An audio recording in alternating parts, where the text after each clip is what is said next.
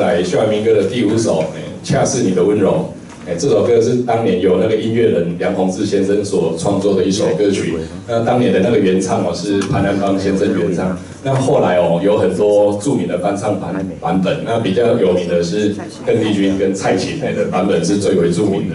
那梁鸿志先生跟蔡琴哦也是因为这一首《恰似你的温柔》之后才走红的。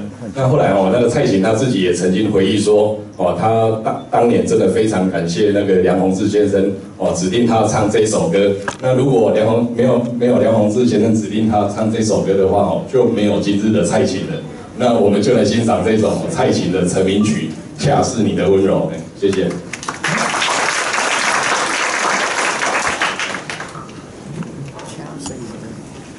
恰是，恰是。